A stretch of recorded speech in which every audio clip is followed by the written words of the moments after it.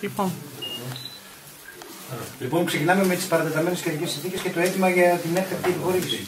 Οι καιρικές συνθήκες είναι δυσμενείς σε όλη τη χώρα, όπως έχουμε παρακολουθήσει και γίνονται συζητήσεις ε, και στα Υπουργεία για τον τρόπο που θα αντιμετωπιστεί. Ε, θέλουμε όμως να επισημάνουμε, σαν Δυτική Μακεδονία, ότι δεν έχουμε καμία σχέση με τις καιρικές συνθήκες που ε, υπήρχαν σε πολλά μέρη της Ελλάδος για τρει-πέντε μέρες. Εμείς ε, διαρκούν ακόμη οι δυσμενείς καιρικές συνθήκες και βέβαια υπάρχουν δήμοι στη Δυτική Μακεδονία που χρειάστηκε να δώσουν περισσότερες από 100 και 200 ευρώ για τους αποχαιρετισμού, για την προστασία της περιοχής ε, για την αγορά αλατιού και η κατάσταση σήμερα είναι πάρα πολύ δύσκολη εάν να συνεχιστεί όλη, αυτή η μορφή.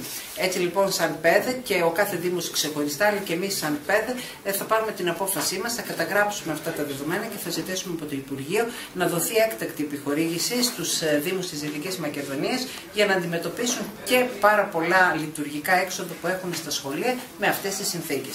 Ε, συνολικό αίτημα θα υπάρξει για επιχορήγηση σε όλη τη Δυτική Μακεδονία. Ναι, είμαι μόνο ναι, που πλήγησαν ε, Θα δοθεί σε κάθε Δήμο ξεχωριστά. Ε, Όπως ε, το έχουν επισημάνει οι Δήμαρχοι με τις αποφάσεις τους ή με τα αιτήματά τους, τα οποία τα έχουμε καταγεγραμμένα. Εμείς όμως θα πάρουμε μία συνολική απόφαση, στην οποία θα δηλώσουμε ε, τα, τα δεδομένα που υπάρχουν στη Δυτική Μακεδονία και ότι βρίσκεται σε μία ξεχωριστή κατάσταση από ό,τι η υπόλοιπη Ελλάδα. Και έχουμε και το είναι ε, σωστό γιατί ε, δεν μπορεί να αντιμετωπίσει αυτή την κατάσταση ένας Δήμος. Τα, τα χρήματα τα οποία εξοδεύονται για πετρέλαια στην εναλλακτική μορφή είναι πάρα πολλά ε, και θα δημιουργήσουν ένα μεγάλο κόστος και ενδεχομένως και τις λειτουργίες της τηλεθερμάσης.